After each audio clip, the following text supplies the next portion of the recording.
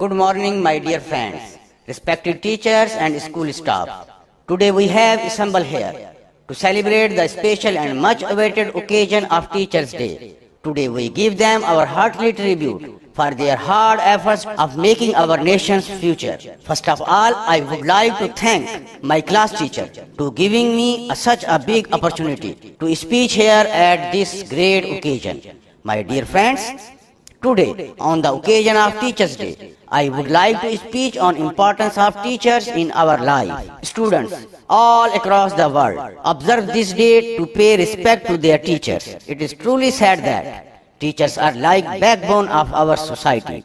They play a great role in building up the characters of the students and shape them to become an ideal citizen. Teachers teach students very carefully and sincerely, just like their own children.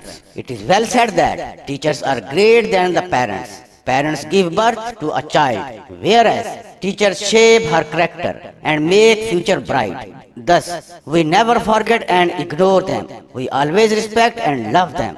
Our parents are responsible for giving us love and quality care. However, our teachers are responsible for making whole future bright and successful. They let us know the importance of education in our life through their continuous efforts. They are the source of inspiration to us which help us to go ahead and get success. They motivate us towards study by giving examples of great personalities all over the world. They make us so strong and prepared to withstand any obstacle of the life. They become full of immense knowledge and wisdom using which they nourish our lives. Come on, my dear friends, say together that our respected teachers, we are always grateful to you for all you did to us.